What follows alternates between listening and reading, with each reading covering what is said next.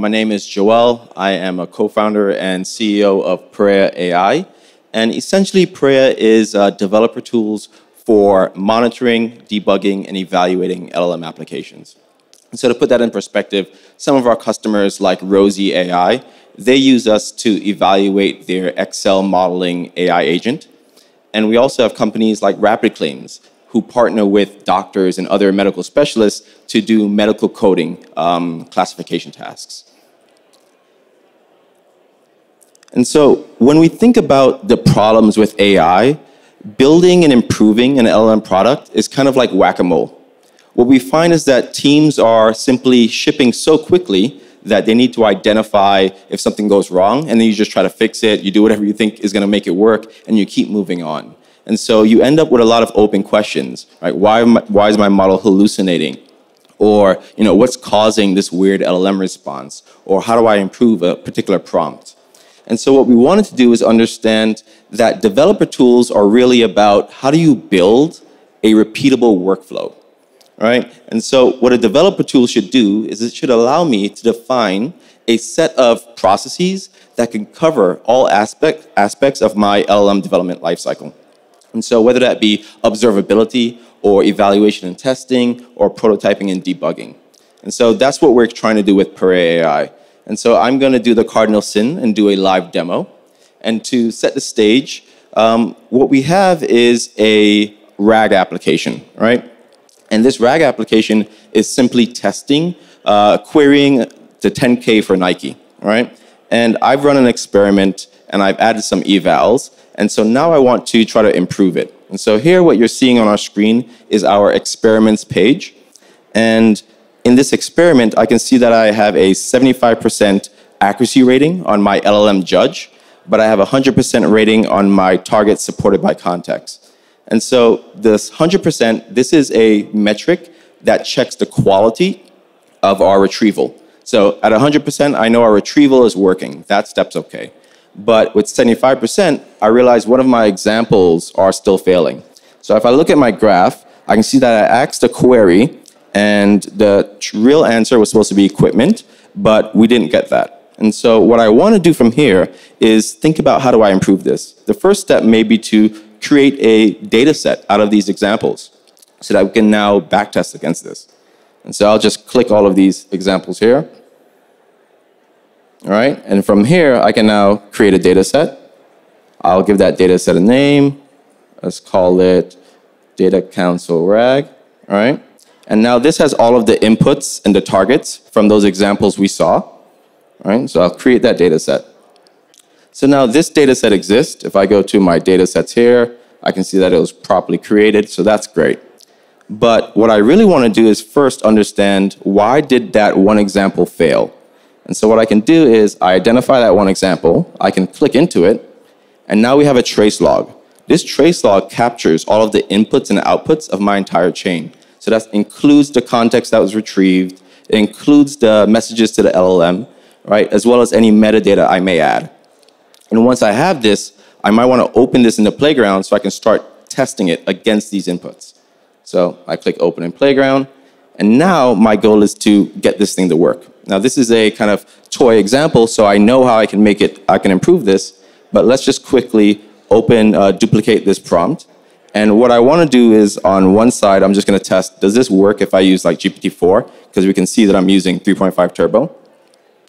And I just heard that Claude Haiku is actually comparable to 3.5 and even GPT-4, so let's try that as well.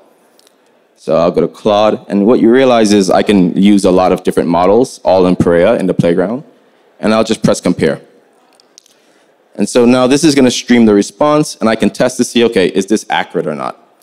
We can see that we have the answer is equipment, so that's accurate on GPT-4. That's good.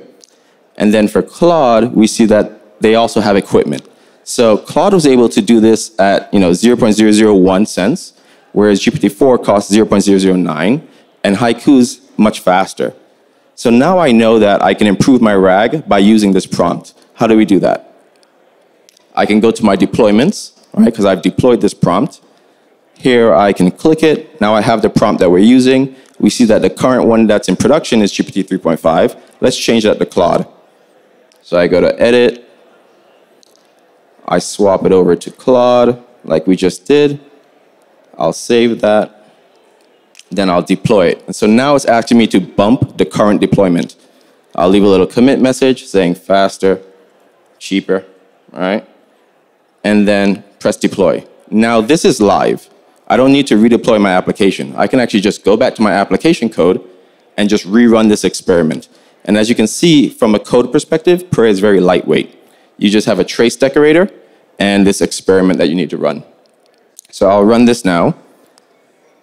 And this is going to run um, my data set that was created. Let's call it, it was uh, DC rag, right? Let me confirm. DC dash rag.